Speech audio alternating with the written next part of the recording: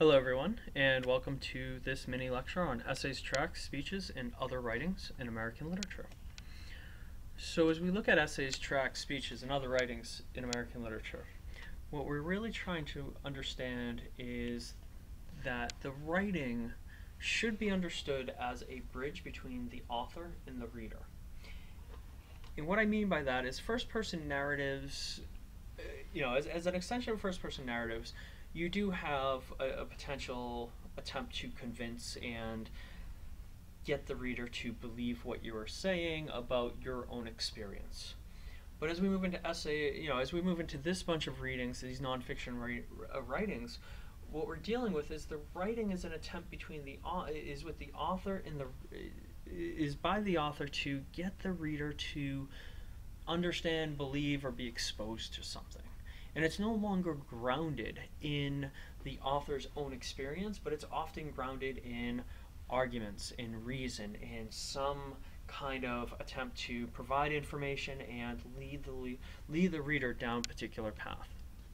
And we see this in all sorts of different types of writing and I would say word focused content. So you have letters and you have sermons and you have treaties and essays and speeches right? All of these things are, are conveying words with important meaning for an audience. And they are largely argument focused. And what I mean by that is there is a point to prove, there's an attempt to convince the reader of something. And so these writers do this in a variety of different ways. And if you've you know if you've taken college writing one and college writing two, uh, you learn about the different ways of argumentation. And so these are the type of things in which writers are looking to their audience and trying to convince them, trying to lead them down a particular path. That path is sometimes not great. In fact, there's many writers out there who could, you know, who potentially purposely or not mislead their readers. And so as a reader, you really want to be aware of that. You really want to be critical of anybody trying to convince you of anything, including me. So these are often meant you know, th these writings are often meant to convince, to inspire, to move, um, to anger, right? So, so different writing, different writings that we look at in in this section are really trying to get to the reader in a in a profound way. So, what are some of the questions we want to be asking and we want to think about? So here's that frame of questions we want to focus on as we move into these these types of writings what's the author's purpose in writing this? Again, it's a, it's a question that we don't always ask right off the bat, and yet we should, as we step into a writing, we should be asking, what's the author trying to do?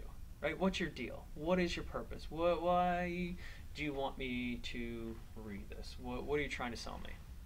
Because it is a sell. Within that, or an extension of that, is what. So it's what is the author trying to sell, and then kind of a subset of that is what is the author's central argument? That is, what is the author trying to sell and how is he or she trying to sell it to me, right? What is their driving force for me to do whatever it is or believe whatever, whatever it is they're offering up? And one question to remember is you want to ask who is the author trying to convince because again, many of the authors that we're reading in this course did not write for us. They were writing for other populations, for other audiences, audiences who may be long dead, or maybe audiences that are still alive. But they are not writing to convince us per se, but it's worth us thinking about, you know, can they convince us? And it's worth, uh, worth us thinking about who was their in initial audience? Who were they trying to convince? Why does the author feel the need to convince this particular audience? So again, it's who are they trying to convince and why are they trying to convince them? So if we look at the abolitionist writings, right, who are the abolitionists trying to convince? Are they trying to convince other abolitionists? Are they trying to convince the people that were pro-slavery?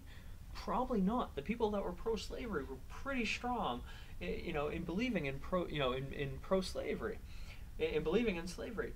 They might have been trying to convince the people that were on the fence, the you know the, the the people that were in the middle ground that weren't really sure one way or another.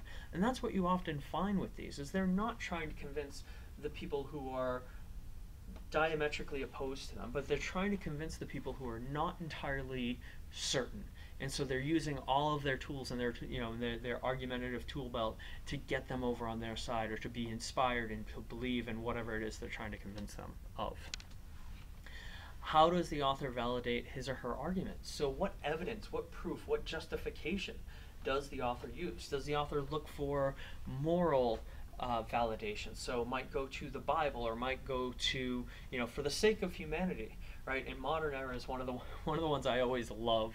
And by love, I mean just really dislike because of how people wield it um, all the time in order to win arguments. Is the uh, the think about the children argument, right? So anything that could be potentially in any minute way dangerous to children is therefore vanquished from from a discussion.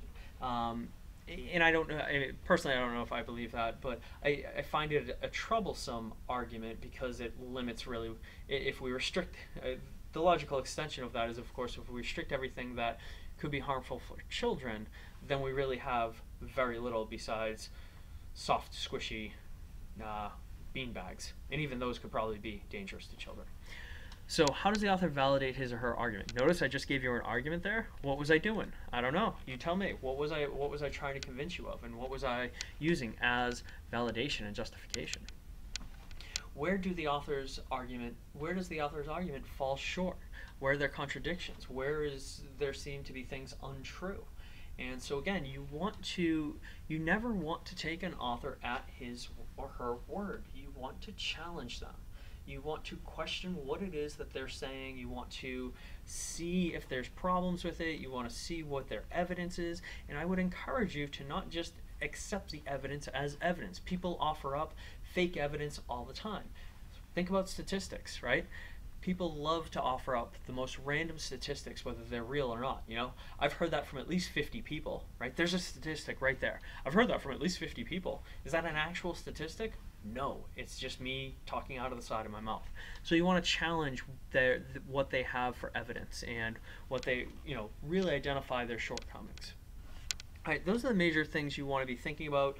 Again, you don't want to trust the the, re- the, the writer. You want to continually think about who he or she is writing for uh, and why this author is, has so much at stake at trying to convince that audience of whatever it is he or she is trying to convince. All right, thank you very much and see you in the next video.